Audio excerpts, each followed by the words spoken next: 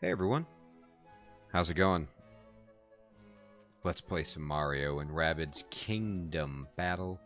Alright, so as promised in the last episode, we're going to check out Peach's Castle and the things that we can do in the game to upgrade ourselves. So, um, now, this Battle HQ Rabo Latori has been updated, and I don't know if it's because I bought a later version of this game, which I think is the case. So if you're buying the game now on Switch, um, it's probably discounted, and it probably comes with these this pixel pack. Um, because the version that I purchased anyway also came with the Donkey Kong DLC. So if you buy that version, you get this pixel pack, and these pixelated weapons with these awesome, you know, like pixely Minecrafty graphics are insane. They are just better than the base weapons. So, um, yeah. Um, and you also get this steampunk pack. So I think there's a lot of different, um, maybe cosmetic weapons that you get. I've only purchased the game once, and it was a version that came with these two packs and Donkey Kong. So, um, if your version is older or different than mine, um, you know that's the reason why. So now you get here and you can change your team. Now you can see I don't have anybody but the initial three people, Rabbid Peach, Rabbid Luigi, but you can see that there are five other characters you can get to complement your roster that I don't even have. All right? But let's dive into what information becomes transparent in the game. So now that you can open up this screen, you can start to see the characters and their statistics. So Mario, um, they tell you in the right hand upper right corner here, there's just a little box that gives you some context about the character and explains their role for your party. So it says Mario's offensive talents make him a natural choice to lead the charge in battle. He's a mid to close range fighter with excellent mobility. So they kind of explain like how you should play this guy and what role in a, a vaguely Holy Trinity style party he should be. Um, if you're not familiar, Holy Trinity is a kind of game term that is derived from Dungeons and Dragons, where effectively you have a tank, a healer, and a DPS unit. And if you need one of each of those, and that's why there's three, and that's why it's called the Holy Trinity. Now, if you have more people in your party, you can like have support characters and different things, but those primary roles for most games need to be filled. Now, notice you have a party of three here. However, that's not to say that you can't deviate from that. In this game, um, there are healers, there are range DPS, and there are tanks, which are more just like close range fighters. So, you know, you could have a balanced party, or you could have, um, you know, a singular focus party with like all melee people or all ranged people later in the game once you get more options. Right now, they give you this balanced party with Peach, who is the healer, and Luigi, who is like the defensive specialist, and he's more of a support character. Um, but he fires at range, so he's kind of like DPS slash support. Anyway, the other thing that you get about your character is you can see their main attributes and statistics. You can push X to kind of go on each of the different attributes and get an explanation of them. So it tells you his health, how many squares he can move, how much damage his dash does. That's the thing when you like run through an enemy. How much weapon his uh, damage his primary weapon deals, and very soon in the game you're going to get a secondary weapon unlocked. So you have more options like you can use your primary weapon or you can use your secondary weapon and you can change your character's loadout to do different things based on the enemies you're facing or the style of gameplay you want uh, right now he has this blaster and it says it's short to mid-range that fires one round at a time at a single target this is how far he jumps when he does team jump um, six areas. When he leaves a pipe, he exits three cells, okay? Um, and so this is just the information that they're displaying now. More information will become available when more things unlock in the game. Now, if you just compare these, um, everybody here is actually the same, except um, Luigi has less health, but does more damage with his dash. Alright? Additionally, their weapons are have different um, attributes, but not yet. Right now, they're just all doing DPS. Alright? So, anyway, now you can also go over and change your weapons. So, right away, when you get into this part of the game, you'll see that you can buy new weapons. Alright? Um, and the weapons that you can buy, many of them do the same base damage, but they are different because they offer status effects. Alright? Like this Hell in a Shell blaster, it cost 500 coins. I have 915 money in the upper right there. And what it changes is that it does base damage like the blaster, the lightning shark, but it also does bounce damage, alright? And again, if you're not sure about that, you just push X and it says bounce damage is dealt when a weapon's super effect is triggered.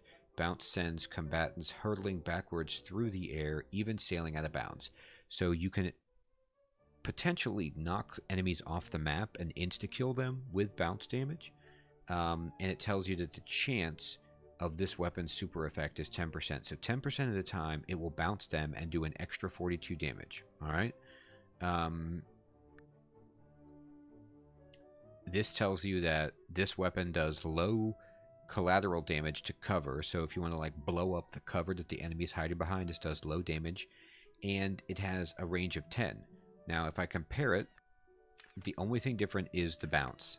Alright? Some of the weapons are locked. This weapon does honey damage, the Rumblebee, and it costs 20 coins more. You'll see that it does 42 honey damage, the same as the bounce damage. However, the effect of honey has a different status effect. Um, it it's sticky, it's honey, and so it puts honey all over the enemy, and they are stuck to the ground, meaning they can't move. Honey is one of my personal favorite status effects in the game because if you use it on an enemy, for example, that only has a, a short range attack, you can get them stuck and then they can't do any damage to anyone unless you move adjacent.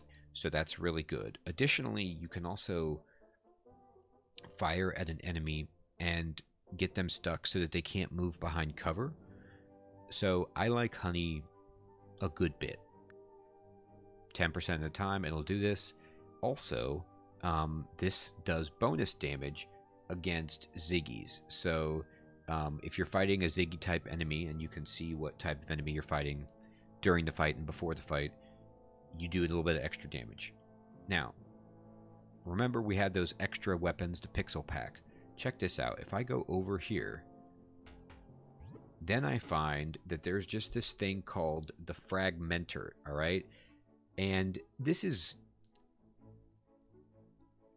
It's kind of like pay to win, um, in a way, because you just get this weapon and it doesn't you see it costs no money to use this weapon it does more base damage and it does more honey damage. It has 30% honey chance and it does 30% more damage to ziggy. So it's just like way better than this and it's free. And you get that included with the game when you buy it now uh, through i bought it just digitally through the nintendo eShop. So, just a heads up about that. And by the way, um, I'm going to be using these because they're insane. Why would I not use them? Um, but later you do get stuff that outpaces this. It's just a really nice boost in the beginning of the game.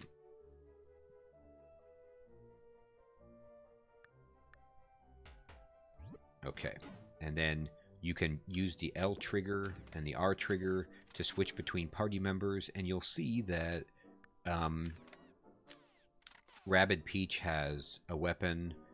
She doesn't have as many choices out the front in terms of status ailments that Mario has. Mario had the shell gun to do bounce. She has honey. Um, but her retro deflator is just as good as Mario's pixel weapon, and so we're going to equip this. Now, um, Luigi is all about status stuff, and his weapon is immediately different. He can do push damage and burn damage, okay? And so push um, knocks participants backward along with any other combatants in their path, even out of bounds. So unlike bounce, you can like push an enemy back and then it hits another enemy and then pushes them back. It also, I think it has a higher proc chance than bounce by 20%. Um, it's lower damage though, right? Than bounce, which was 42 with Mario's weapon.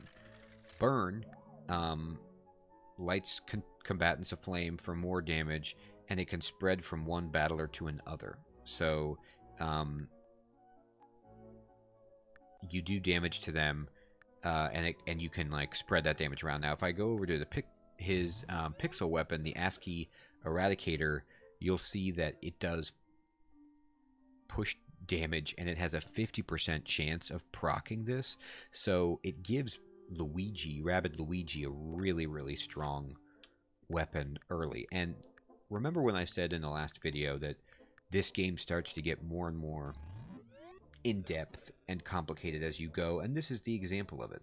I now can change party members when I get more, and I can change my weapon loadouts and really customize what kinds of status effects I want to put on enemies to create combos um, and exploit enemy weaknesses, and take advantage of synergies between my teammates. Alright, so this is enough for the weapons at the time being. And here's the skill tree, which is currently locked. And what this lets you do is um, upgrade their skills, which helps them do things like move more spaces, do more dash damage, have more health, get special attacks and things, but you'll see their skill tree later in the game when it actually opens. Okay, so now we have better weapons. Um, and then I'm just going to kind of sail over here following our buddy Beep-O.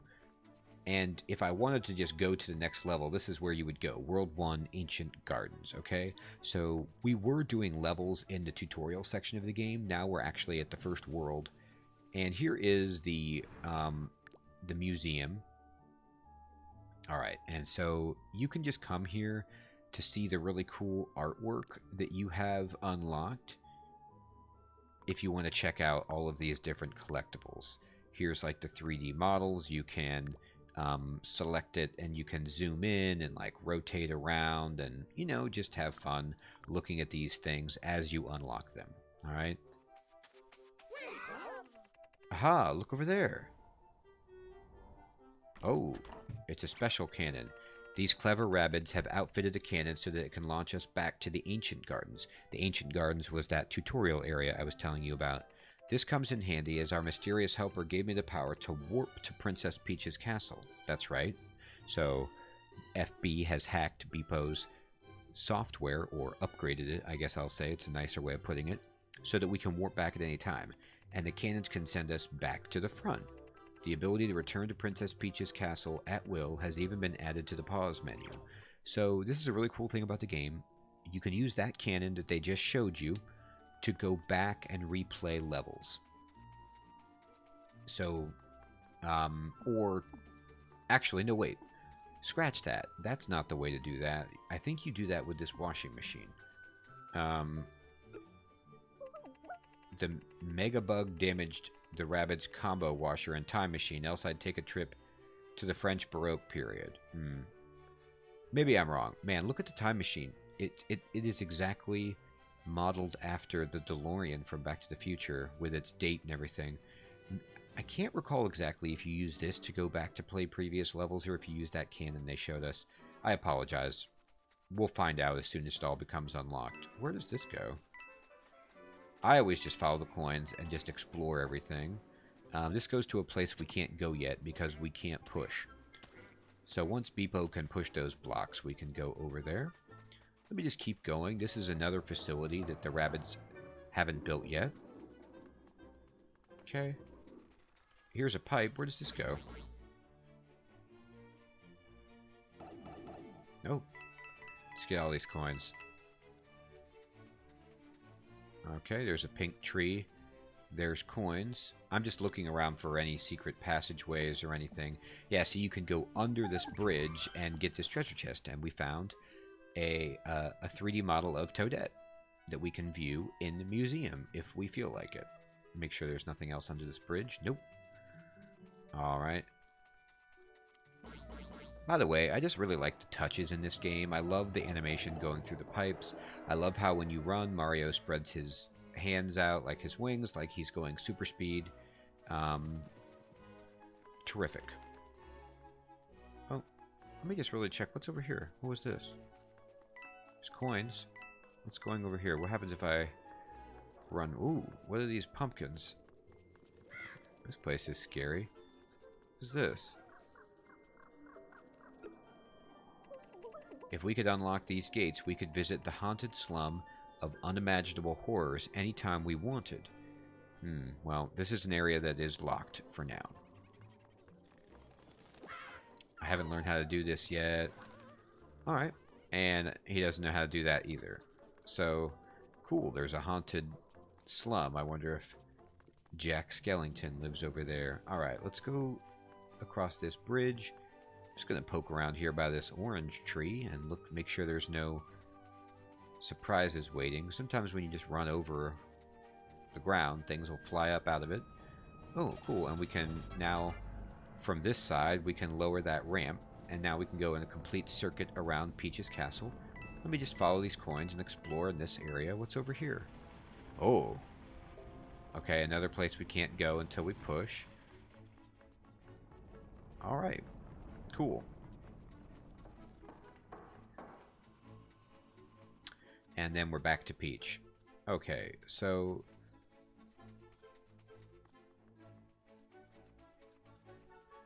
Oh, look at that treasure chest down here. Let's see if this goes down there. Why, it does. Let's get it. What you got in here? Oh, they have some artwork. Geyser Goombas. Awesome. Let's get all these coins. Anything over here hidden? Nope, Beep-O can't go there. Alright, let's go up here. Hmm. Okay. Ooh, what's this cannon all about? Looks like we get coins just by flying onto it. Ooh, and there's a silver treasure chest.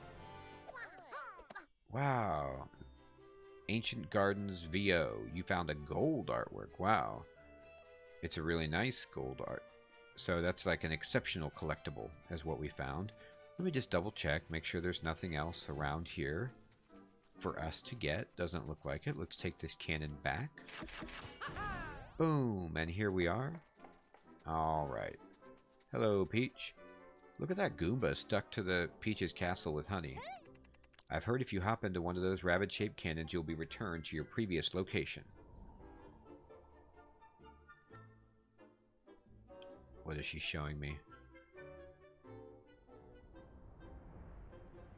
Ah, okay, yeah, this wooden one does take us back. Indeed. Oh, I'm sorry, I didn't mean to do that. Oh my god, she's going to show us again. This is in case, you know, you wanted deja vu or an instant replay. Now you know. Okay, do not push the A button. There we go. Don't talk to Peach again. She's going to show you that. But that is helpful. So... Mm -mm -mm. Let's follow the sign and Peach's gaze. There's the weapon place. We're going to move over here. And World 1 Ancient Gardens. Let me just follow these. Oh, wait. Sorry. I lied. There's something over here that I haven't yet acquired. Let me make sure I can't get down there easily. Yeah, cool. There was a pipe that I missed right by the washing machine. I can't leave a treasure chest unlocked. Oh, Ziggy's Battle. We found our first soundtrack item.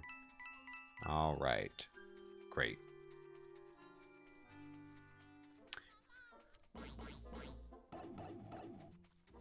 I personally am not a player who is super excited about game collectibles like that, except for achievements, and even then, it's kind of meh. I will say, though, persist, at least I persist in getting the treasure chest because sometimes you get something like skill points or money that's actually good, a new weapon, things like that that you really want. Alright, so here's a push that I can't do. Beep-O will tell you if he can do anything. What are these rabbits up to? I wonder how long they've been at it. Oh, pushing the other guy off. So he's saying, I can't drill here, I can't push that, and it's red because I can't do it. Here's a yellow switch. Now this opens up a doorway for us. This one, I believe she said, will take us back. But I don't really want to go back right now. I want to go forward as much as I can. So let's go through here and find the red coins.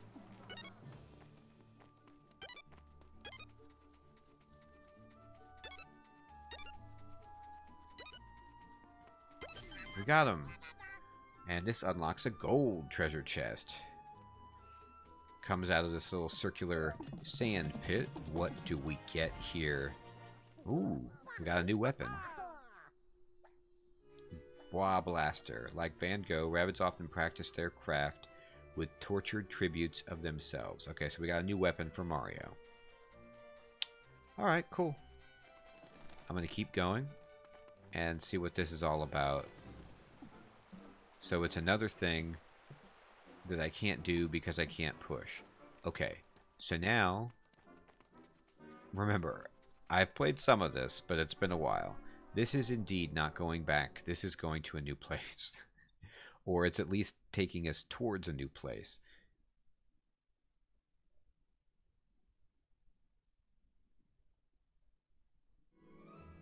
Alright, so here we are. And we have appeared here.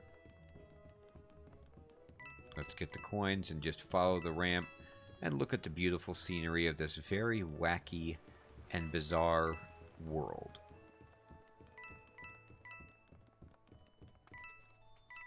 Alright, let's get all the coins here. Well, this goes to level 3. Oh, no, no, we're ready for this.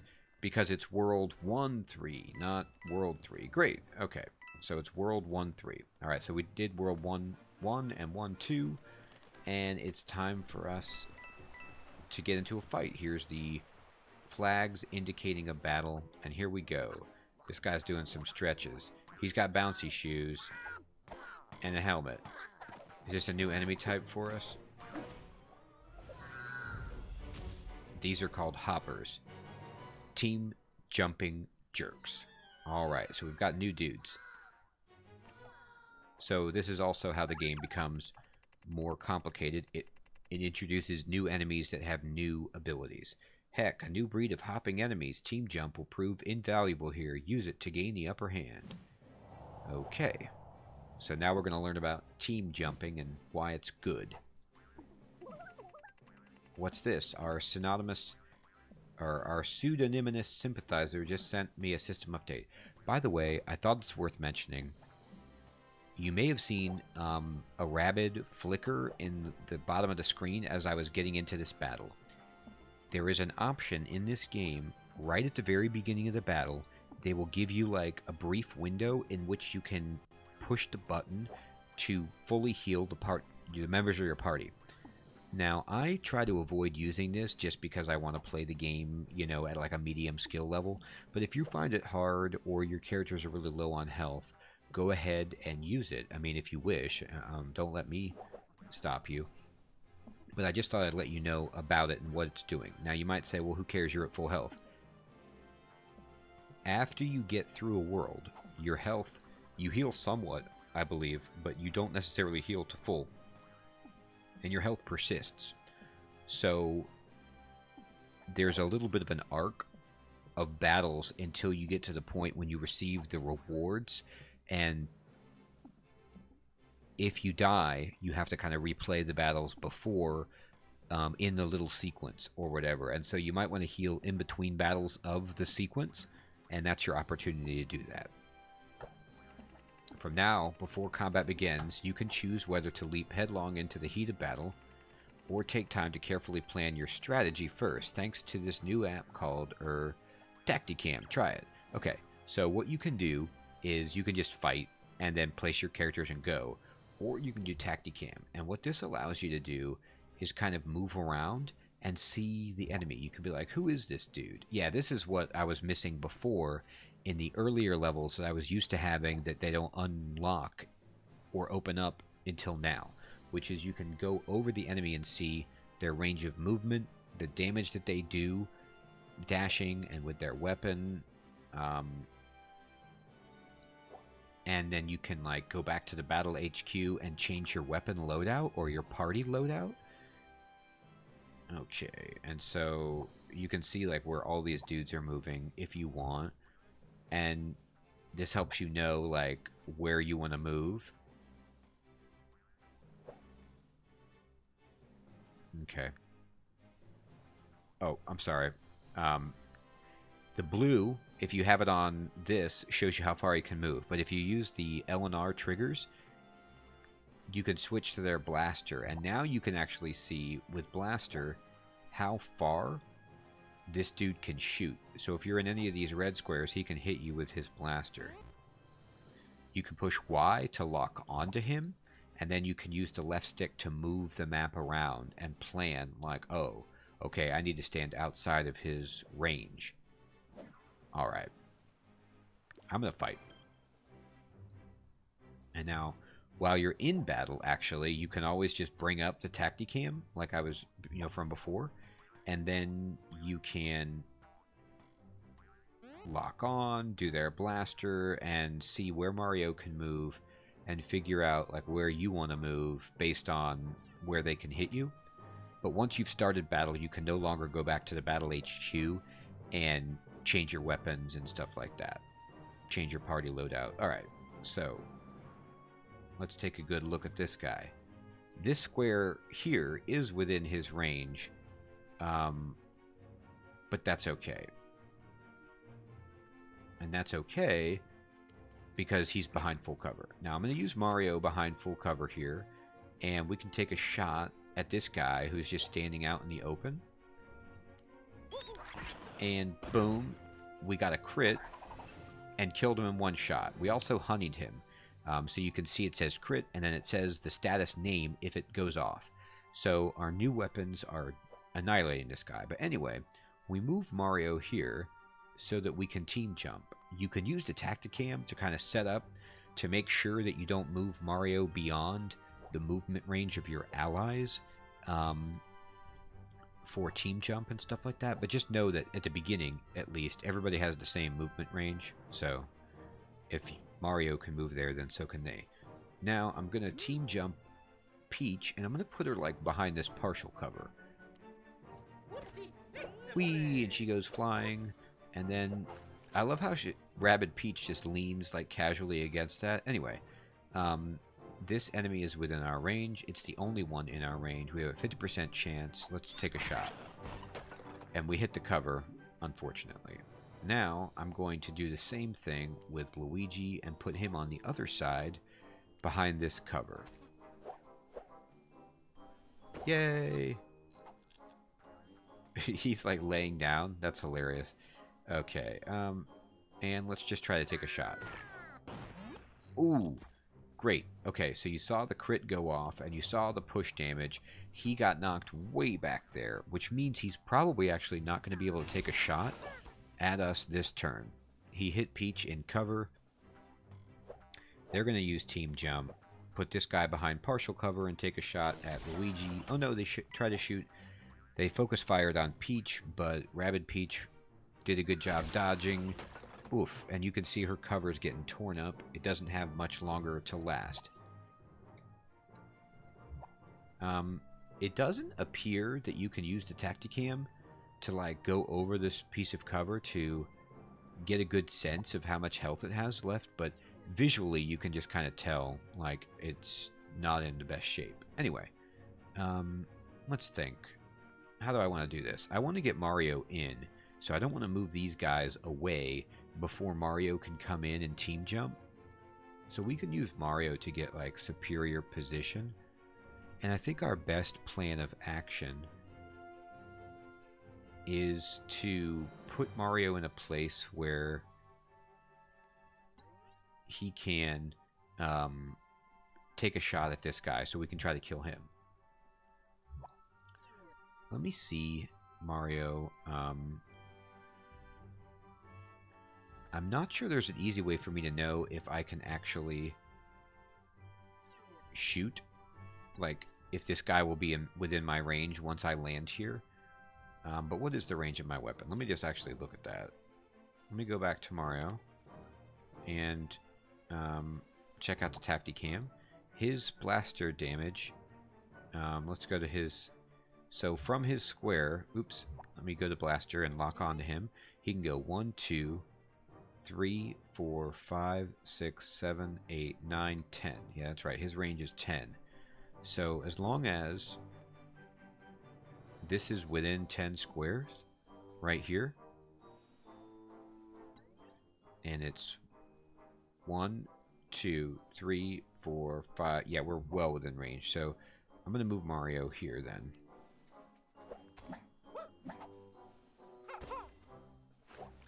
And then Mario can take a shot, and we'll try. We hit the cover. You know, not perfect, but...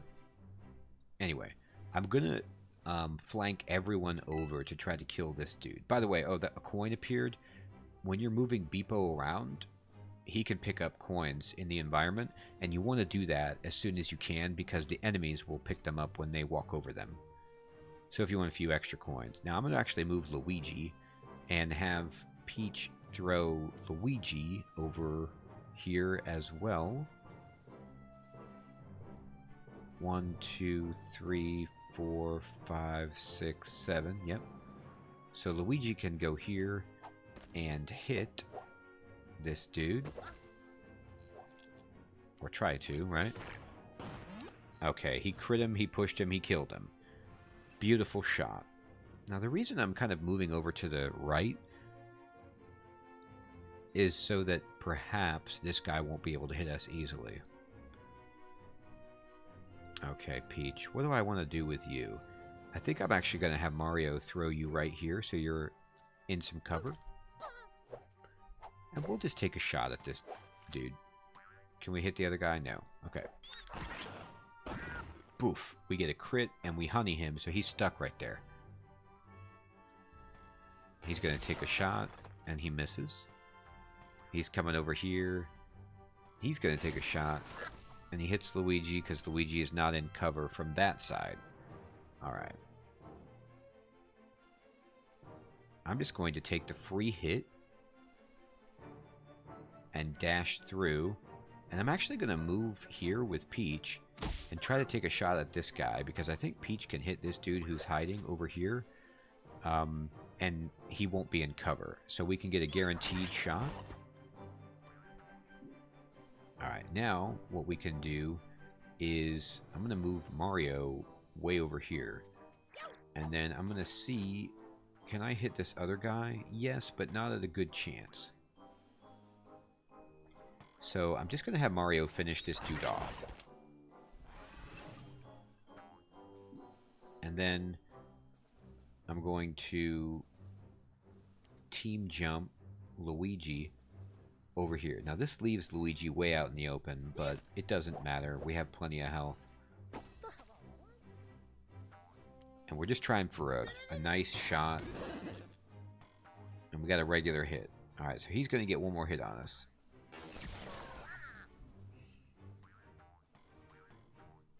Okay.